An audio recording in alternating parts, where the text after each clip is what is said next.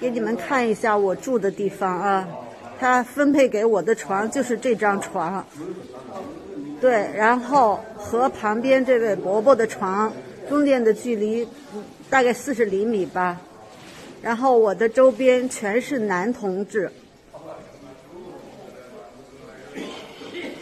然后我看到这样的话，我我就说我不能住在这边，最起码我应该有。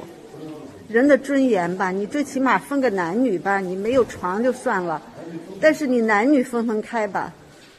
然后就是拒绝给我换换那个床，我真的是崩溃了。我想到最差最差，没想到这么差，真的，我觉得我在这里边完全没有被当人看，没有被当成病人看，这里边真的像难民营一样。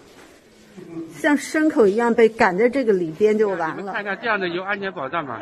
你们看一下，你看看像都像强盗一样。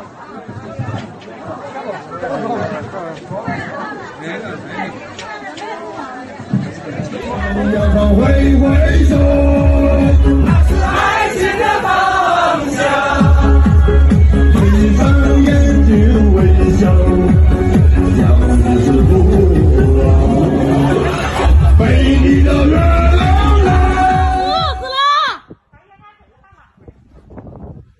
好好。